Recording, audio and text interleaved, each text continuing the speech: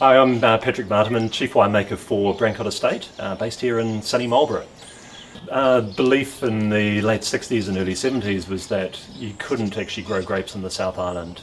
It was too cold to, to grow grapes this far south. And I guess it was that curiosity that led us to, to say, what if we planted varieties like Sauvignon Blanc and Pinot Noir, um, varieties which actually uh, internationally do like cooler conditions to show their, their, purity and expression. And it's only by challenging that original belief that uh, has led us to really creating a, a, world benchmark style.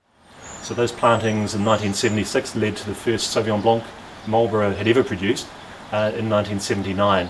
And that went on to, to win gold medals.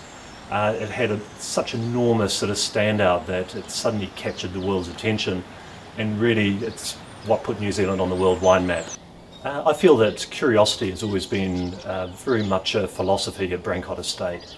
Uh, we're always looking for the next thing, uh, questioning what we're currently doing and saying how can we strive to make things better. So it's only by doing so that we're ever improving the quality of wines and better understanding actually the vineyard sites we, we own. Um, I feel that within the last two years we've probably learnt more about Sauvignon Blanc than perhaps the last 35 years. So that, that knowledge is accelerating.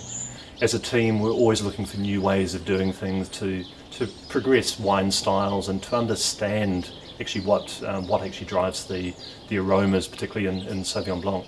So uh, the team, both in the winery and also in the vineyard, have actually been working um, for Brancott Estate for a long, long time but certainly aren't stuck in their ways. They, they keep on looking for new new ways to uh, to do things always questioning what, uh, how they've done things in the past and how, how can we actually make things better.